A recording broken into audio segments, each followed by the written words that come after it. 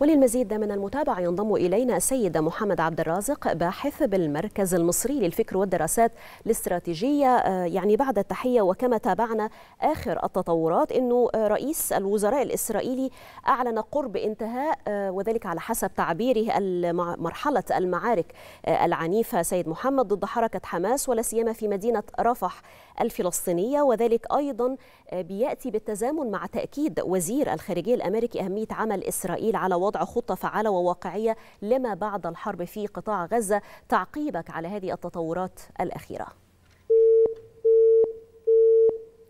يبدو أننا فقدنا الاتصال مع السيد محمد عبد الرازق الباحث بالمركز المصري للفكر والدراسات الاستراتيجية ونواصل نشرتنا. يعقد مجلس الأمن الدولي اليوم جلسة بشأن الأوضاع في منطقة الشرق الأوسط بما في ذلك القضية الفلسطينية. ومن المقرر أن يستمع أعضاء المجلس إلى إحاطة من المنسق الأممي للسلام في الشرق الأوسط والتي تشمل التقرير ربع السنوي الأخير للأمين العام للأمم المتحدة بشأن تنفيذ القرار 2334 الذي يطالب بإنهاء جميع الأنشطة الاستيطانية الإسرائيلية.